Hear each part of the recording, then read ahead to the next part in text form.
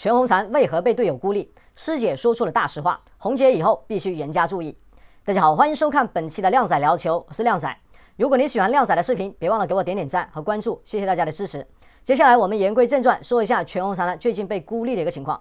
那么大家也知道，其实目前呢，阿联酋的一个跳水表演赛已经结束。那么啊，全红婵这边呢，也是跟随着自己的队友呢，已经返回了国内，并且呢，接下来的三周之内呢，将会进行隔离。那么我们也知道，其实啊，全红婵在这一次的一个整体的比赛表现呢，还算是非常的不错。虽然说他的师兄练俊杰也是拖了后腿，但是全红婵呢，还是非常的给力，也完成了陈若琳呢交给他的一个任务，并且呢，也用两跳的一个成绩呢，把中国队呢从一个垫底的位置拉到了第三名。所以总的来说，我觉得全红婵这一次的一个阿联酋之旅呢，没有留下多少遗憾，他也可以说是出色的完成了整个国家队的一个任务。而我们也看到，在这一次比赛结束之后的话，那么其实全红婵呢，他的队友呢，李正也特意发了一个视频呢，去艾特他的队友，并且呢，也是拉了几个人入境。但是从这一次的一个视频当中，我们却没有看到全红婵的一个身影，好像是其他的队友出现了，但是全红婵呢，却全程连根头发都没有露出来。所以呢，有些粉丝看到这样的一个视频之后呢，就觉得李正他们是不是在啊冷落或者说在这个孤立全红婵呢？毕竟全红婵取得这么好的一个成绩，那么是不是有些人说可能会嫉妒他的一个成绩，所以呢，才采用这样的一个方法呢，去孤立他，不让他出镜呢？那么我们也可以看到，在这样的一个评评论区当中，确实。有不少的粉丝呢去质疑，那么去怀疑他们这样的一个操作，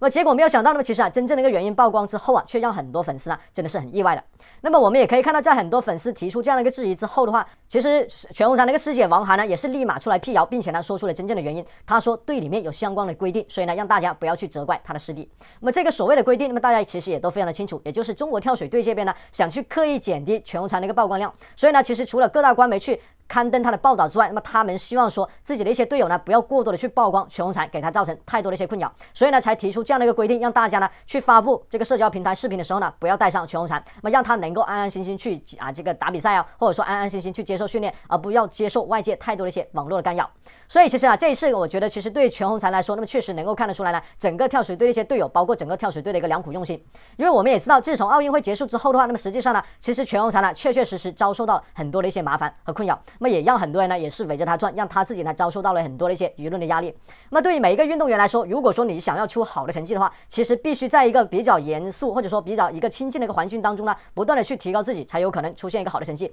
如果说你因为这样的一个网络流量和关注呢，被外界太多的一些干扰了，就很有可能影响到你的专注度，甚至在比赛当中心不在焉。所以对于全红婵来说，那么确确实实呢，我们也看到他的师姐也已经提出了这样的一个想法和要求。我们也希望全红婵以后呢，必须严加注意，那么尽量避免呢和外界有太多的一些接触。尤其他现在呢，已经成为一个流量的人物，那么确实呢，会受到外界很多的一些关注。我们也希望他能够保持一个初心，戒骄戒躁呢，能够继续保持一个初心，继续训练下去，那么才能够争取在之后取得更多的一些进步，才能够争取在明年甚至之后的奥运会当中，帮助我们国家队获得更好的成绩。这一点呢，也是相信是很多喜欢全红婵的一些粉丝呢所希望看到的。我们希望看到一个不断变强、不断变优秀的一个低调成熟的全红婵。我们不希望只是看到一个啊流量明星。